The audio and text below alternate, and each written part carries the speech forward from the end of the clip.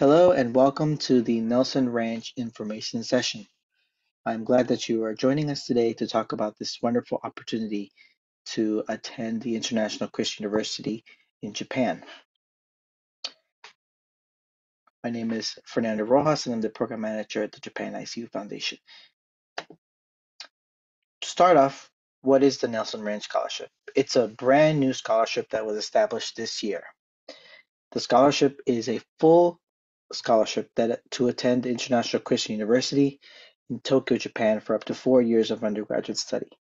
It's not a semester abroad, it's not a one year abroad. It's for four full years of undergraduate study for you to receive your bachelor's degree at ICU.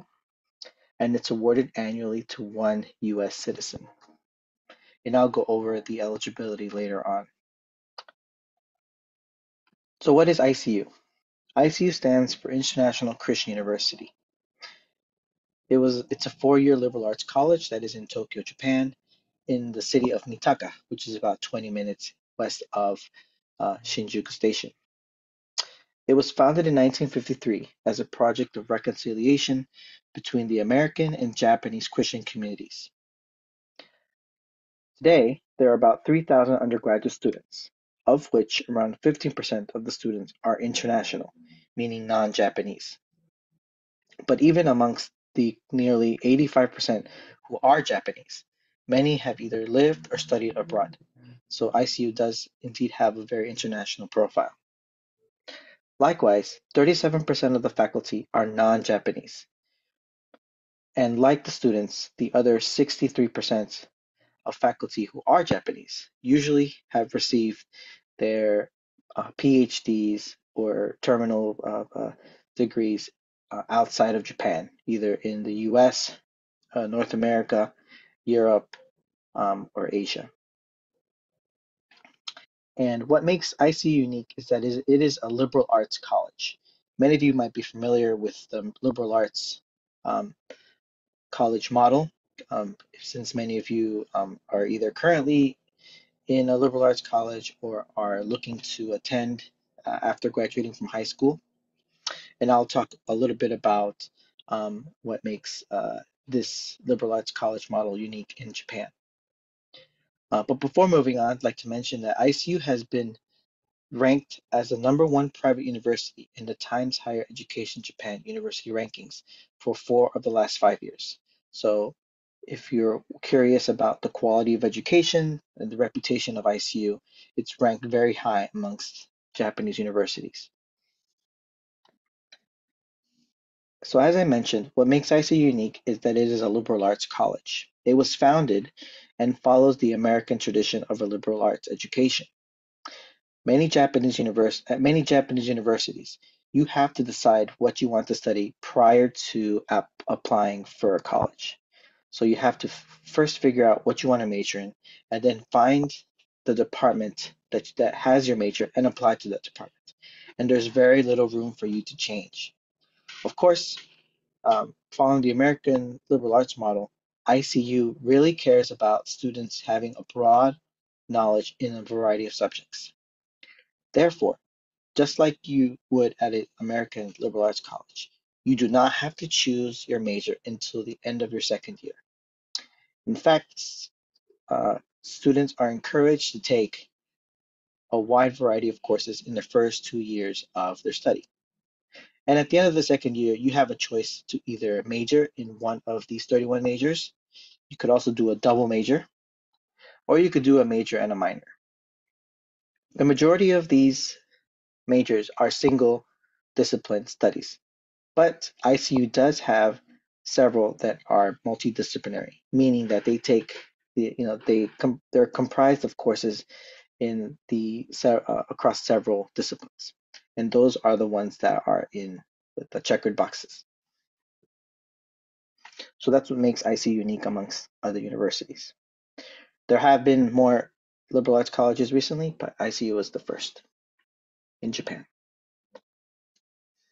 The other feature that makes ICU unique is its bilingual education.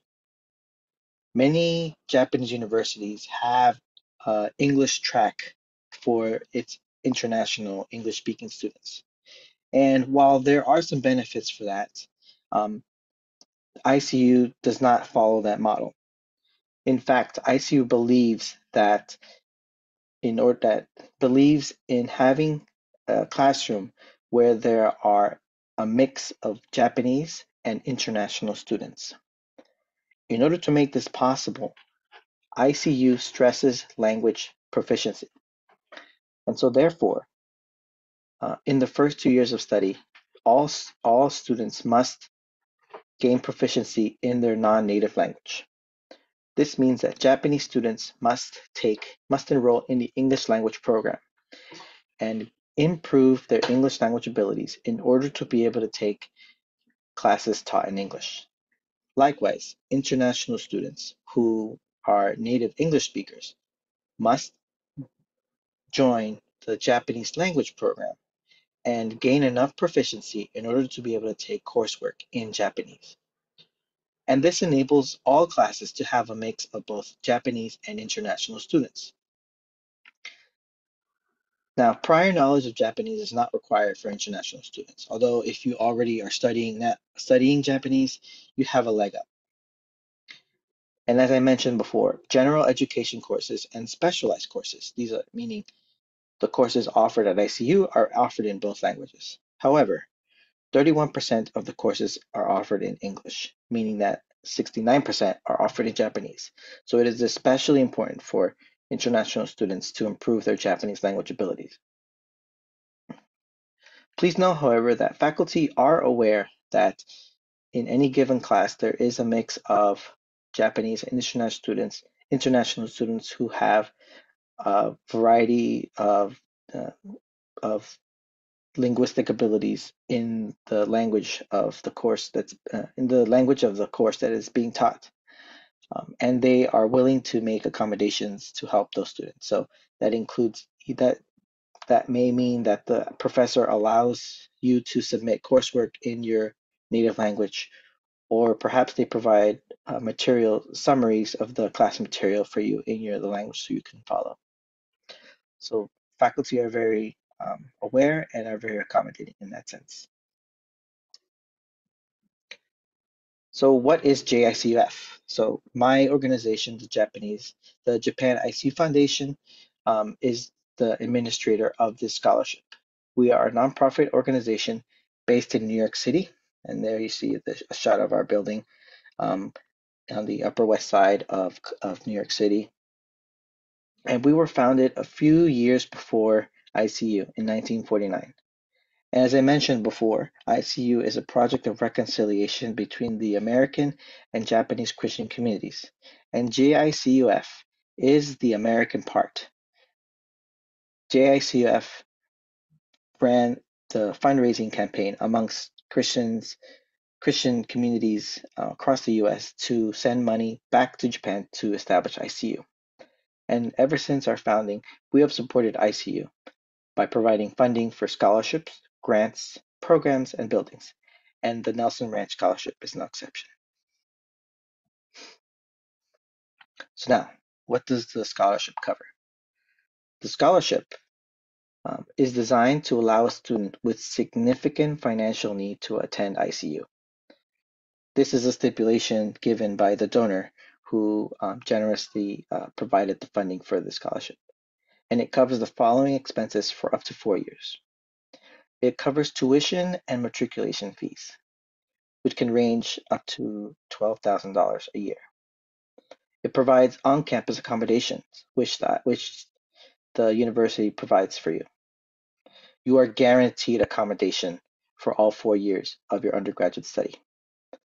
And to the right of this slide, you'll see um, one of the newer dorms, the Momi and Maple dorms.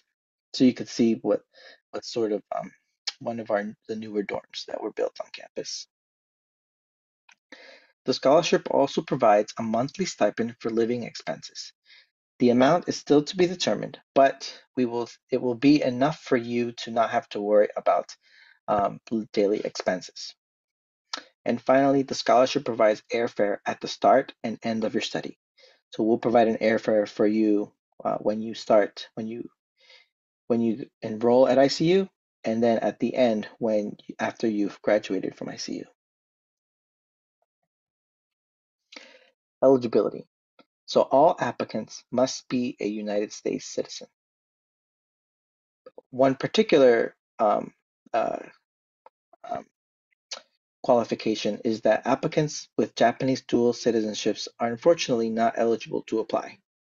The reasoning is that those with Japanese citizenship or nationality have a variety of financial aid options available to them from the Japanese government. If you're interested in these, if, if this applies to you and you're interested in knowing what these opportunities are, please reach out to us later. The applicant must also be committed to Christianity, and in the application form, you will be asked specifically um, to describe how your Christian faith has impacted your life and your future goals. We will be asked what role does Christian faith play in your academic pursuits, how it has influenced your community involvement, what, uh, why, it, what's the importance of Christian leadership in today's society, uh, and how your Christian faith has helped you overcome challenges in your life. These are some of the prompts that are in the application form. And this is, again, um, a, uh, uh, something that we are looking for for this scholarship. We are also looking, applicants must also demonstrate financial, uh, financial need. And these are, and we assess this through the documentation that we are asking for in the application. And this includes um, the tax forms, W-2s, pay stubs, as well as the uh, FAFSA student aid report that I'm sure many of you have already generated, given that um, it's it's it's the time to do so. So it takes a lot of work to get these documents together, and I hope that you have already started to um, work on gathering everything. Now, applicants may apply as either first year. So if you are a graduating senior, if you're going to graduate in 2024, you are eligible to, you, are, you will apply as a first year. Um, you may also apply as a transfer student. So if you're in your an associate's program or you're in your first year of your undergraduate, you may apply as a transfer student. And the duration of support for a transfer student depends on the year that they matriculate at ICU.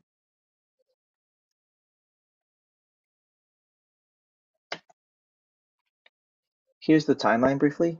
Um, so the application is already open and will close on November 1st, so in a little over a month. So I hope that um, you have already started um, writing your essays.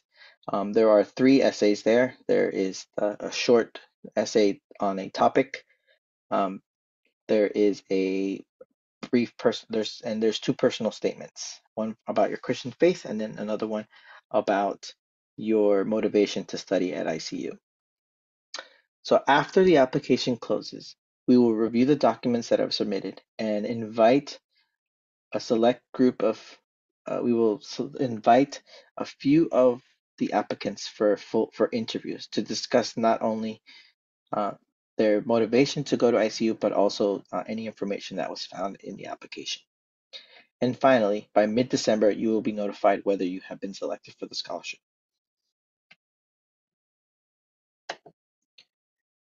So um, that's briefly what this scholarship is about, and I really hope that you um, that you consider applying for this wonderful opportunity to, to um, study at ICU. It really is a, um, a, a incredible environment, and I encourage you to uh, visit ICU if when if you are ever in Japan.